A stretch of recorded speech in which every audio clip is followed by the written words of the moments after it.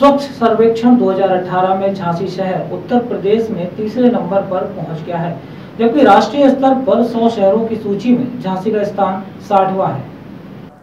नगर निगम के लगातार प्रयास से झांसी को प्रदेश में तीसरा स्थान प्राप्त हुआ है। उत्तर प्रदेश में पहले पायदान पर बनारस और दूसरे पायदान पर गाजियाबाद को रखा गया है। आपको बता दें कि नगर आयुक्त के निर्देशानुसार शहर में आधुनिक मशीनों द्वारा सफ़ाई कार्य किया जा रहा था। जो कि स्वच्छता के लिए एक महत्वपूर्ण कदम है। चूँकि बनारस पीएम का संसदीय क्षेत्र होने और गाजियाबाद, एनसीआर का हिस्सा होने की वजह से ये दोनों शहर सुविधाओं के लिहाज से काफ़ी आगे हैं।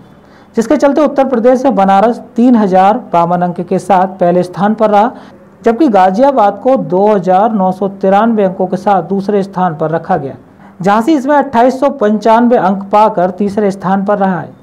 इस सफलता के लिए नगर आयुक्त प्रताप सिंह भदौरिया ने महापौर रामतीर्थ सिंगल अपर नगर आयुक्त रोहन सिंह, अजीत कुमार और रवि निरंजन समेत अपनी पूरी टीम को बधाई दी।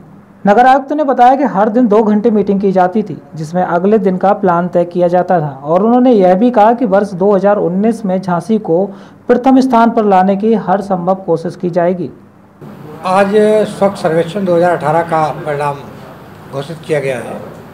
एक लाख से अधिक आबादी वाले जो शहर हैं देश के, उनमें सौ दे, सौ नगरों में झांसी की जो रैंकिंग है वो सिक्सटी है। प्रदेश में जो हम लोगों का रैंकिंग है, वो थर्ड है। प्रथम रैंकिंग वाराणसी, द्वितीय रैंकिंग गाज़ियाबाद और तृतीय रैंकिंग झांसी की है। नहीं अब हम लोग देखिए, कुछ चीज़ें ऐसी थी यहाँ पर, जो इंफ्रास्ट्रक्चर संबंधित थी। ये सर्विस लेवल प्रोग्रेस। तो वो हम लोग अभी यहाँ पर अधिस्थापित नहीं कर पाए थे। नहीं नहीं, इसमें सबसे बड़ा तो इसमें झांसी नगर झांसी नगर के जो हमारे नागरिक हैं, वो बधाई की पात्र हैं। उनका फीडबैक का इसमें चौदह सौ नंबर था। सिटीजन फीडबैक बहुत इंपॉर्टेंट था। उसमें लोगों को बहुत अच्छा नंबर मिला हुआ है। महापौर रामतीर्थ सिंगल ने बताया कि पीएम मोदी के स्वच्छता अभियान में सभी को प्रयास करना चाहिए। और हम सभी के प्रयास से ही झांसी को तीसरा स्थान प्राप्त हुआ है।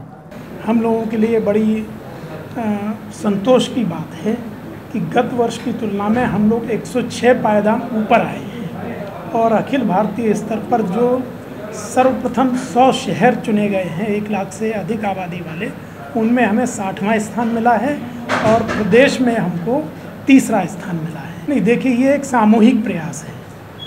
किसी एक सरकारी संस्था या किसी एक व्यक्ति के प्रयास से ये संभव नहीं हो सकता है। भविष्य में भी जो हमारा लक्ष्य है, वो भी हम सामूहिक प्रयासों से ही प्राप्त कर पाएँगे।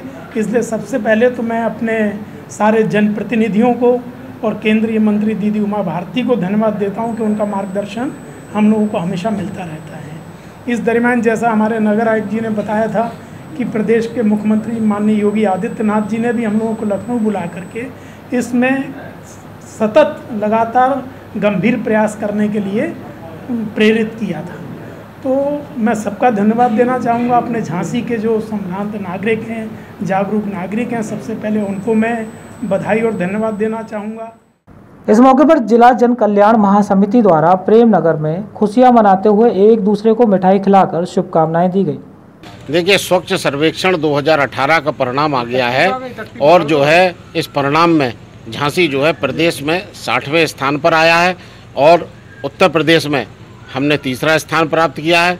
नगर आयुक्त तो माननीय प्रताप सिंह भदौरिया जी और मेयर हमारे श्री रामतीर्थ सिंगल जी के निर्देशन में हम लोग ने स्वच्छ सर्वेक्षण 2018 में प्रतिभाग किया और आज बड़ी खुशी की बात है कि हमारा झांसी पूरे हिंदुस्तान में साठवें नंबर पर आया है और आज हम लोगों को बड़ी प्रसन्नता हो रही है कि जहाँ महारानी लक्ष्मीबाई के नाम पर हिंदुस्तान को सब जगह याद किया जाता है। उन्होंने नाम रोशन किया। इसी तरीके से आज हम लोग साठवें नंबर पर आकर स्वच्छता के क्षेत्र में अब्बल घोषित हुए न्यूज़ बी के लिए झांसी से मनीष अली की रिपोर्ट।